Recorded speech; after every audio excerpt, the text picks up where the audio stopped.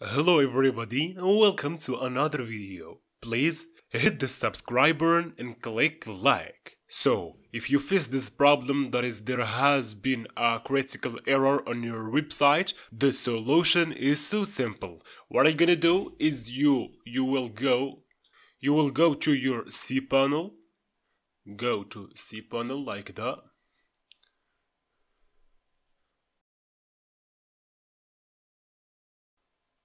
So what you're gonna do is uh, you will go to the cPanel, the file manager of your cPanel.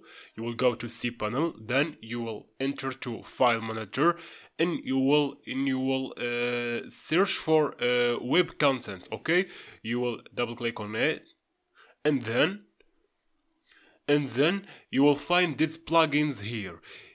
What you what you will do is change the name, rename it rename it as plug plugins slash new okay? Plugins slash new. You will add this this this uh, icon and then new okay? So and you will click rename file.